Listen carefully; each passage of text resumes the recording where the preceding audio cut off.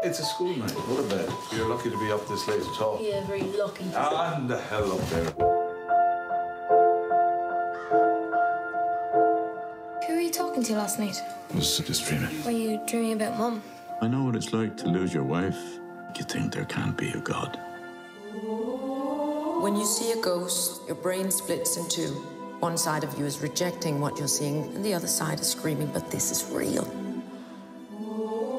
You have such an honesty in your writing. The ghosts in your books, they're so real.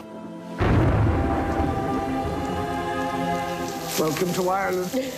I'm sorry to hear that you lost your wife. It's tough on the kids. Very tough on you, too.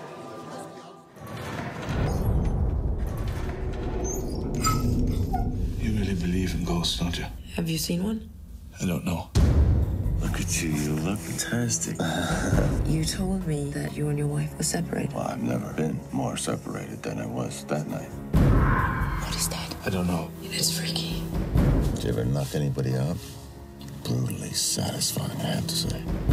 They get us to come to their festival, and then they start hitting us with their ideas and their obsessions. I see the way he looks at you. That guy is a stalker.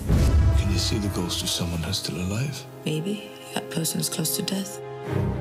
Stop harassing this woman. Dishonesty has to end. You're sure you didn't do this to yourself? I mean, if you were dreaming, you could have been sleepwalking. It's not like a dream. You can't explain it.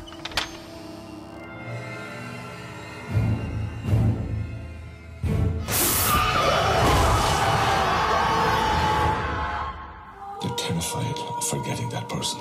You hang on to the pain because you're afraid that if you let it go, That you'll lose them.